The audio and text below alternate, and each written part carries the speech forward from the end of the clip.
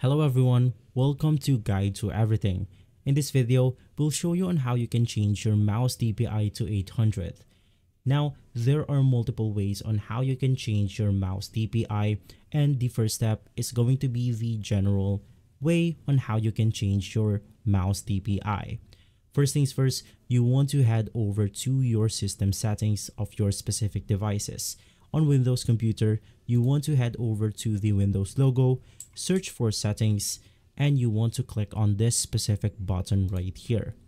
Once inside, click on devices, navigate through the mouse button beside the categories, and from here, click on additional mouse options. And once inside, you want to click on the pointer options.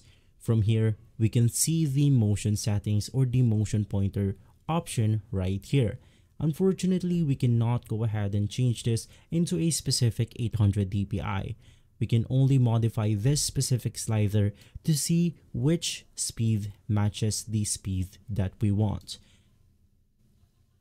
After that, you then want to click on the apply button, click on OK, and you should be good to go.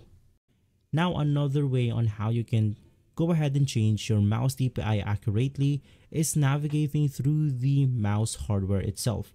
In my case, I'm using this product right here called Garuda Gears and mine has a specific software in order to change the mouse settings. So for example, if you're using something like a Logitech mouse, you want to head over to google.com, search for Logitech mouse software, and from here, you then want to specifically get the software that is available for your mouse. In my case, I'll go ahead and open up my software right here, which is the Hawk One software. Once inside, we can then go ahead and modify multiple settings for our mouse. And one of those settings is the DPI settings. In here, you can then go ahead and manually set your specific DPI. So in my case, I'll go ahead and click on one of the DPIs right here change it to 800 and click on OK. Right after, I'll just go ahead and click on this setting. It will configure my mouse and now I am inside the specific 800 dpi that we are looking for. And so, if this video has been helpful, like, subscribe, and follow Guide to Everything for similar videos like this one. Thanks for watching. I'll see you next time.